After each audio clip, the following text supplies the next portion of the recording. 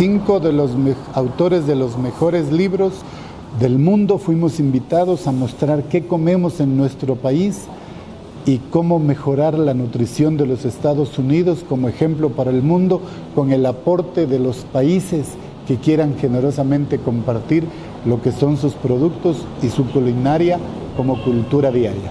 Cuando ya me pidieron que vaya, yo, todos los chefs habían sido cocineros visionarios que dijeron, yo estar en la Casa Blanca tiene un costo de 30, 40 mil dólares. Cuando me preguntaron a mí, yo les dije, el honor es para mí como cocinero y la dignidad para la cocina ecuatoriana estar en un espacio como la Casa Blanca. Lo único que voy a pedir es que me permitan llevar mote, chochos, palmito, quino, amaranto, pepas de sambo, salprieta, ispingo, o si no, yo no puedo cocinar cocina ecuatoriana. Y me dijeron, solo denos la lista, la comida, la primera es para 40, la segunda para 200 y la tercera para 1200. Así es que di la lista sin darme cuenta, cuando llegué a la Casa Blanca, todo y cada uno de los productos tenían un análisis de descomposición nuclear. Cada producto tenía el análisis nutricional de cuántos gramos hay que comer para alimentar bien al ser humano. Así es que ese aprendizaje fue maravilloso. Cociné y presenté los platos como los que están en el libro.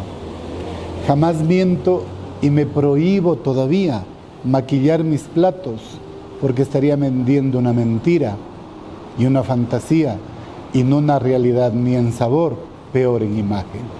Siempre lo que predico es lo que practico. Fueron platos muy pequeños, hice las sopas, hice los ajíes de pepas de sambo, hice unas bolitas de, de, mote con queso, luego les pasé por huevo, les freí, les metí al horno, se fundió el queso y cuando probó Michelle Obama, que no come lácteo, pero Sasha, su segunda hija, sí, y dijo, albóndigas de corn, mama, albóndigas de corn, Edgar, ricas. No había cocinado para ellos, había cocinado para mis compañeros de cocina, pero coincidencialmente pasaron y las probaron. Mi cocina ha sido de oportunidades bendecidas por Dios que me han puesto allí en una oportunidad sin que la pida. Ni siquiera sé si la merezco o no. Solo sé la viví, la aproveché, la entendí, la disfruté y fue un aprendizaje más de los muchos que la vida me ha dado día por día. Y cuando fue la cena de despedida en el 2016, me pidió que vaya a hacer un menú y combinamos y ahí se presentó carne con chocolate, eh, unos langostinos que se abren con un lienzo, se rellenan de pangora y en una salsa de tomate y pimientos asados y eso fue.